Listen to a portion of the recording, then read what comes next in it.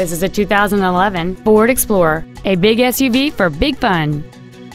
It features a six-cylinder engine and an automatic transmission. Its top features include a moonroof, a low tire pressure indicator, satellite radio, aluminum wheels, and traction control and stability control systems.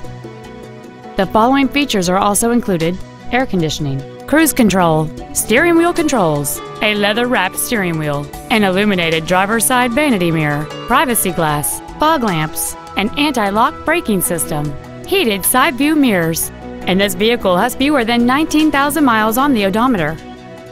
This Ford has had only one owner, and it qualifies for the Carfax buyback guarantee. Call or visit us right now and arrange your test drive today.